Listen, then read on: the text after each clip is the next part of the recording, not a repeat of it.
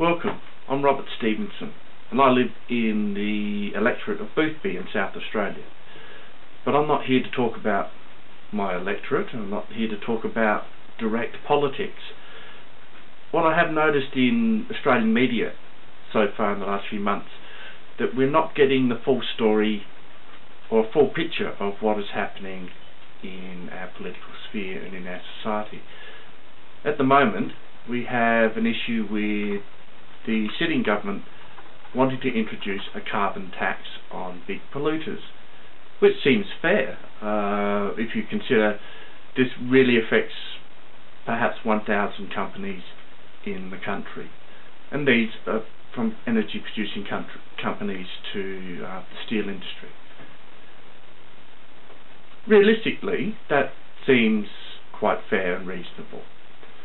But with the introduction of a tax on big industry, there are going to be some flow-on effects down to uh, you, me, and every other working family in the country. And this will be through increased prices in our power supply, uh, our fuel supply, and even trickle-on effect into the food, dis food distribution and food supply. So how do we deal with this? Uh, even though we are taxing the big end of town or the, the, corporations, how do we deal with the pass-on effect of these costs? Well, the Labor government under Julia Gillard um, is forming a policy that would also see uh, revenue received from these taxes come back into the household uh, in the form of rebates or even cash payments that would help alleviate this flow-on effect because of the tax. This would, in essence, uh, be quite reasonable, and I accept that, that that's going to happen. Uh, the detail in the policy, we don't know, because this is still early stages. And I'm prepared, like many Australians are prepared to hear what uh, is going to be delivered when the policy is fully formulated. And then it goes to political debate that's where we get all the bugs worked out. So at the moment I hear comments about no carbon tax and banners being waved and being waved by everyday people in the street. And I find it a bit disconcerting in that we don't even know what this means and you're saying no. That's not a very logical position to take in anyone's um, thoughts or position in life.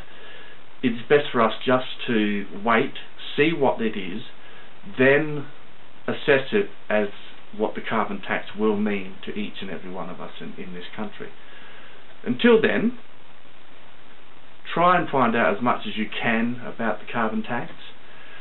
Try and find out as much as you can about what the opposition party in Australia might have.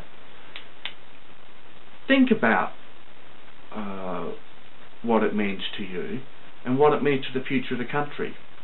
I, for one, am on the side of this carbon tax after much consideration.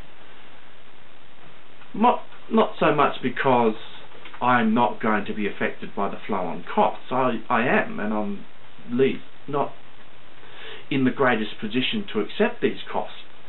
But I see the future for my family and my children and uh, in time their children in that we now are making a small difference that will result later in a very big difference to reduce emissions, to better our environment and to move to cleaner technologies. This is logical and reasonable and I accept that and I also accept that my generation and even the generations before have some responsibility in paying back a little of what we used and took for granted. But until then, don't run around with banners saying no to carbon tax without understanding what it means. Take your time, consider it all, see the information as it gets released, uh, see which businesses are coming online and think it's great, uh, maybe examine who is opposed to it all.